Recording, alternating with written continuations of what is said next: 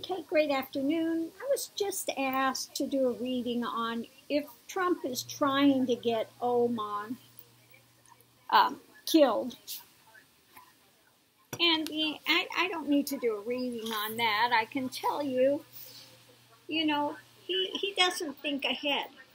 He just speaks out of his ass, okay? Whatever flies by. You know, no, he's not that calculating.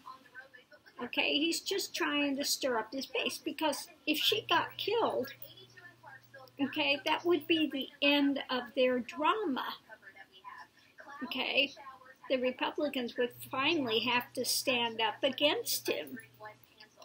So yeah, no, that you know,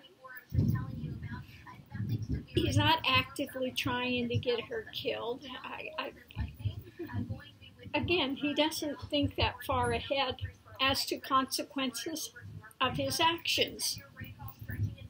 He's got no clue. The only thing he's thinking about is what can I do to get reelected to stir up hate and stir up the base. That's all. Okay. So I'm going to leave this here. Thanks for your question.